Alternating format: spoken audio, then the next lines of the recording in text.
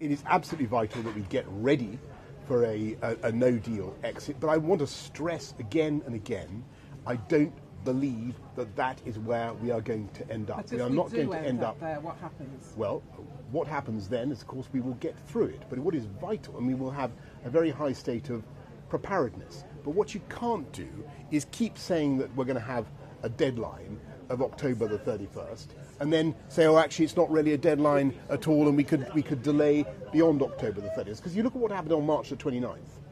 A huge amount of work was done. The country did get ready, and then, of course, we failed to get out. We failed to get out on April the 8th, and a lot of the, pre- the preparations then sagged back down again. What is vital now is that we commit to coming out on October the 31st. We mean it. We get ready for a no deal outcome, and we prepare. And that goes for lorries in Kent as well.